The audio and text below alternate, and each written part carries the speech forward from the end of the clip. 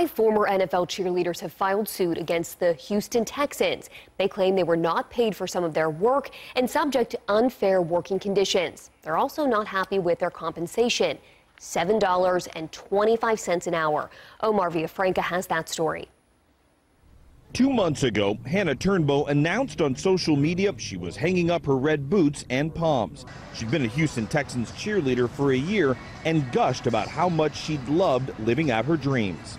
Today, alongside her attorney, Gloria Allred, she told a very different story.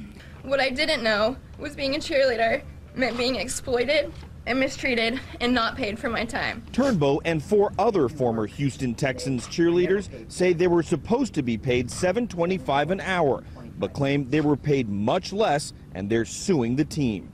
The organization did not pay us for all of our working activities, including practices, traveling expenses, training camp, and other required personal maintenance expenses.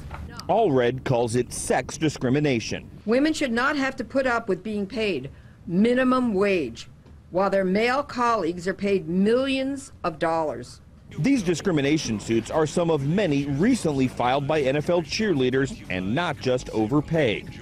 Others have pointed to a double standard tied to their weight, their wardrobe, and their conduct, even when they're not on the clock.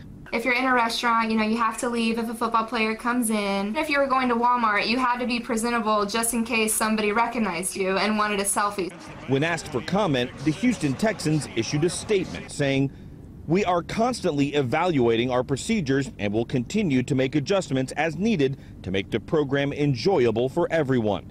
It's the same statement the team put out in response to a similar lawsuit. Omar Villafranca, CBS News, Dallas.